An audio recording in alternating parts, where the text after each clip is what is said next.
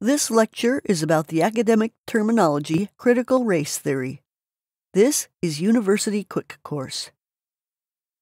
Although, as a concept, it has been around for over 40 years, critical race theory has recently become a controversial topic. This topic exploded in the public arena, especially in K 12, where numerous state legislatures debated bills seeking to ban its use in the classroom. In this modern context, when considering this terminology, a bifurcated set of questions quickly emerge. Is critical race theory a way of understanding how American racism has shaped public policy, or is it a divisive discourse that pits people of color against white people?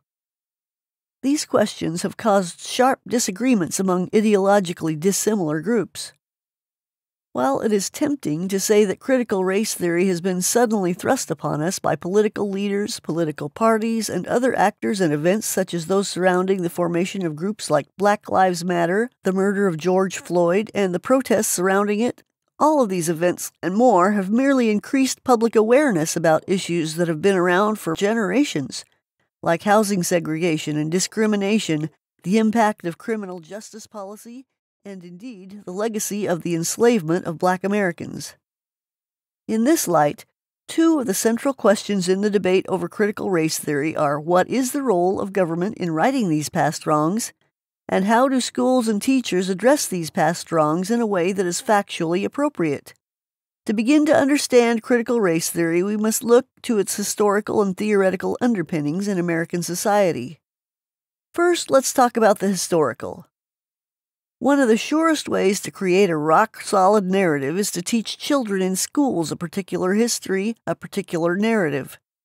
For example, we can see this by examining the enduring legacy of the Lost Cause. For those unfamiliar with this phenomenon, the Lost Cause is an interpretation of the American Civil War, which raged from 1861 to 1865. The Lost Cause seeks to present the war from the perspective of Confederates in the best possible terms. It was developed by white Southerners, many of them former Confederate generals, in a post war climate of economic, racial, and social uncertainty.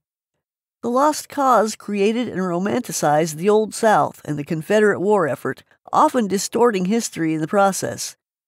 For this reason, many historians have labeled the Lost Cause a myth or a legend, it is certainly an important example of public memory, one in which nostalgia for the Confederate past is accompanied by a collective forgetting of the horrors of slavery.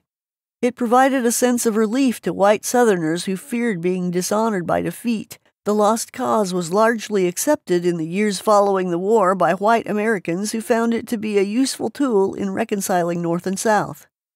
The Lost Cause has lost much of its academic support, but continues to be an important part of how the Civil War is commemorated in the United States of America, including how the Civil War is remembered in popular culture.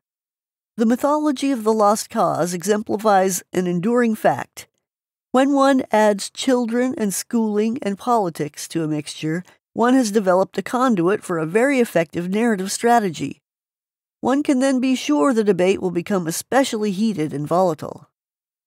Second, the theoretical underpinning.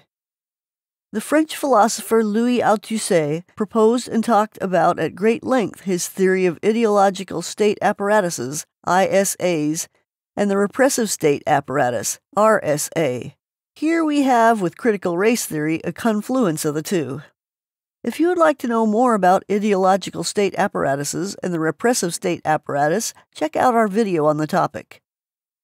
In Marxist theory, the state apparatus contains the government, the administration, the army, the police, the courts, the prisons, etc., all of which constitute what Althusser called the repressive state apparatus, or RSA. Of course, repressive suggests that the state apparatus in question functions by violence or the implication of violence. At least, ultimately, it is undergirded by the threat of either physical or non physical force.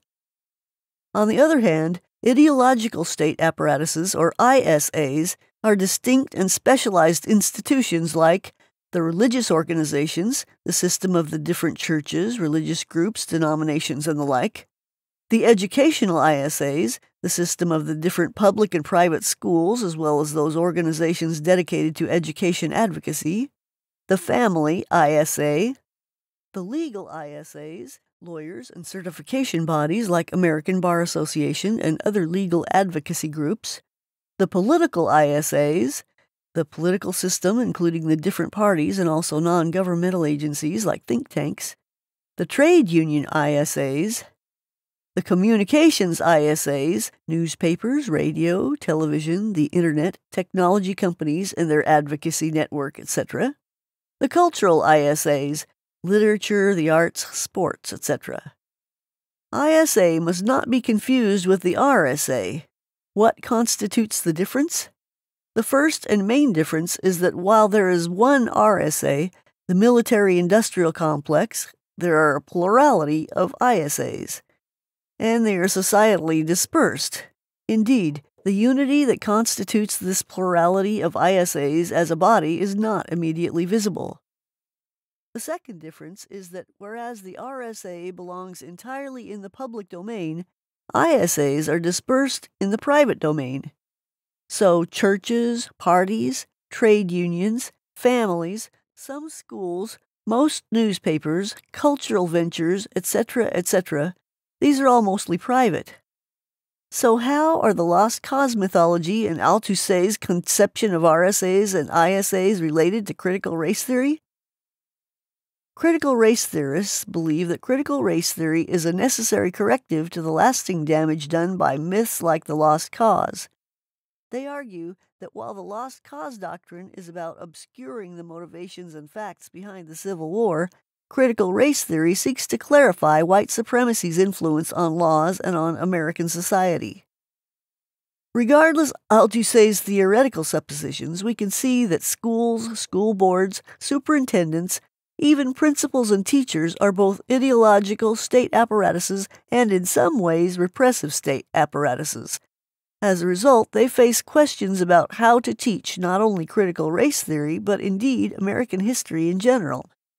There is much misinformation and disinformation in the public sphere about critical race theory. There are also significant disagreements, even among experts, about the precise definition of critical race theory, as well as how its tenets should inform K 12 policy and practice. It's important to note here that there's no evidence to show that critical race theory as an academic concept is being taught in K 12 schools or indeed in undergraduate university. Critical race theory is taught in some graduate schools and law schools. In part two, we're going to talk about the basic tenets of critical race theory in order to help us as citizens grasp core aspects of the current debate. This includes going over the main tenets of critical race theory. We're also going to try to understand who are the people who are interested in misrepresenting the concept and what are their motivations. This is University Quick Course. Please like and subscribe.